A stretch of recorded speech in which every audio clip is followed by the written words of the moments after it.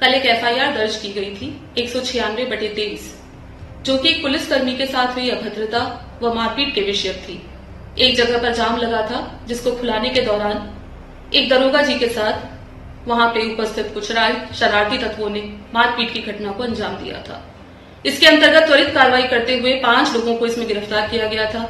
आज उनको मेडिकल हेतु ले जाया जा रहा था, जिसमें से रास्ते में दो लोग लघु शौच के नाते उतरे व उन्होंने पुलिसकर्मी की राइफल छीन के वहाँ से भागते हुए फायर किया, जिसमें जवाबी कार्रवाई पुलिस द्वारा की गई। व इसमें दो लोगों को पैरों में गोली लगी है, परशुराम व मोनू। इन दोनों को प्राथमिक उपचार हेतु सीएचसी ले जाया गया है। साथ ही इसमें एक सब इंस्पेक्टर व दो कांस्टेबल इनको पकड़ने के दौरान मामूली चोटिल हुए हैं, जिनका भी इलाज सीएचसी में प्रचलित है। इसमें आगे वैधानिक कार्रवाई पुलिस द्वारा की जा रही है।